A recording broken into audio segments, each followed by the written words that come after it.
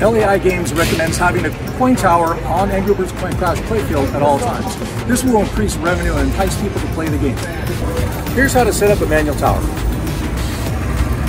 Without going into your operation settings, you'll use the left button to do your left station, your down button to do your center station, and your right button to do the right station. So when you select the station you want to build a manual tower on, just simply press and hold the button. It'll flash through some screens. Once it's done doing that, the play deck will push all the way back and expose the elevator to build the tower.